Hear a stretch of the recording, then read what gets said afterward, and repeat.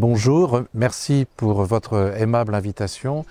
Je ne peux pas être euh, malheureusement avec vous aujourd'hui en raison d'un planning euh, extrêmement chargé et je le regrette bien car euh, le thème de vos travaux qui est la décarbonation et la transition énergétique et électrique des halles à marée est de grande importance, notamment en Bretagne où nous avons 13 halles à marée.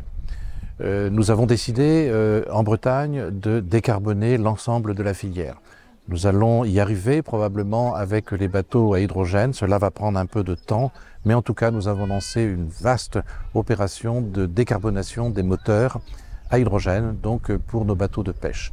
Mais nous allons y arriver plus facilement à la décarbonation avec les halles à marée probablement, probablement euh, en produisant par l'électricité euh, de la glace. Et vous avez derrière moi un dispositif de production photovoltaïque d'énergie électrique qui pourrait avantageusement est utilisé dans vos halles à marée.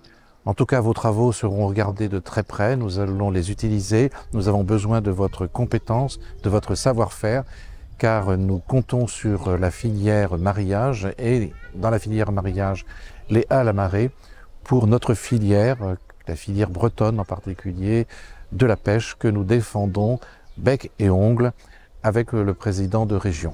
Donc bon séjour à vous et merci d'être venu en Bretagne pour votre colloque.